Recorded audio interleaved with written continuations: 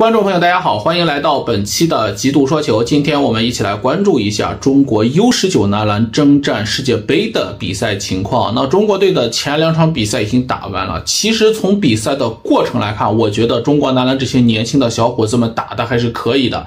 想象一下上一次打世青赛的场景，我们面对塞尔维亚和法国，其实整体的水平也是非常高的两支球队。两场比赛，中国队总共输给对手一百一十三分，场均要输给对手五十多分的这样一个分数，而且基本上打完一节比赛，那比赛的悬念就已经没有了。那么这两场比赛来看的话，其实中国队还都至少能够拼到第三节，尤其是与加拿大这场比赛，凭借着我们的。呃，旅欧后卫赵维伦的出色发挥，在最后时刻，我们甚至还能够看到比赛获胜的机会。所以说，通过这个比赛过程来看的话，这批小伙子们的成绩啊，包括他们在场上打球的这种啊精神，还是值得肯定的。但是，即便如此啊，也或许是让中国球迷看到了赢下加拿大和法国这两支世界强队的希望吧。但是，主教练韩登啊，在场上的一些调整，包括用人的安排，也是遭到了球迷的质疑，认为。中国队原本有机会在这两场比赛至少能够拿下其中的一场，特别是这第二场与加拿大队的比赛，啊，更被大家看作是非常有希望的一场比赛，啊，但是中国队在落后不能得分的情况下，韩登是迟迟的不叫暂停。更为重要的是，韩登的用人啊，引起了大家的关注。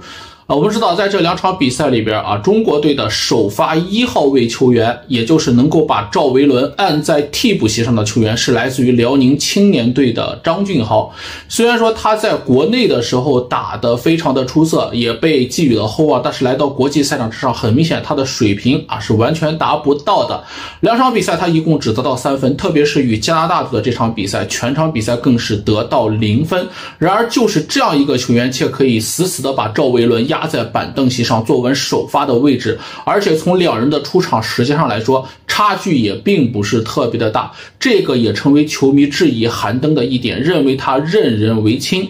当然，我们通过韩登过往的履历来看的话，他与辽宁队似乎并没有过多的干系。他既没有与辽宁队啊打过球，同时也没有在辽宁队任教过的经历啊，所以说。他重用这名辽宁队的青年后卫，原因在哪里呢？如果真要找一个原因，可能就跟目前中国男篮啊国家队计划小组的组长王芳有关了。我们知道啊，中国篮协最近成成立了这样一个啊专门去维护国家队比赛的组织。原本的话呢，这个组织的领头人是中国篮协主席姚明，后来姚明卸任，由王芳担任组长。此前中国男篮成立二队，也是呃王芳担任组长之后啊，第一次。次比较重大的人事任命，而当时男篮二队的领队是王芳，二队的主教练就是韩登。那我们也可以看一下韩登过往的履历来看的话，并没有太过耀眼的成绩，同时的话也没有在成年队做主教练的经历。就这样的一个履历啊，